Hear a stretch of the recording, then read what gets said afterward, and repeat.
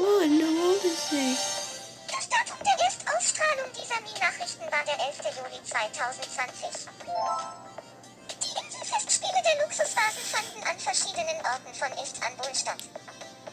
Luxusvasen waren das Thema aller Spiele und Gegenstände auf jedem Festspielgelände. So zum Beispiel Luxusvase Schaufeln und Luxusvase Süßigkeiten. Die Festspiele dauerten bis zum Abend und gipfelten im traditionellen Singen des Liedes der Luxusvasen. Wir haben einige Inselbewohner nach ihrer Meinung gefragt. Genau wie ich es vorher gesagt habe. Dieser Bericht hat sicherlich jemanden zum Weinen gebracht. Danke fürs Zuschauen. Ich bin Krassomat Kids Kindergarten. Der 11. Juli war das Sendedatum dieser Mini-Nachrichten. Na, das Abo funny. Euch.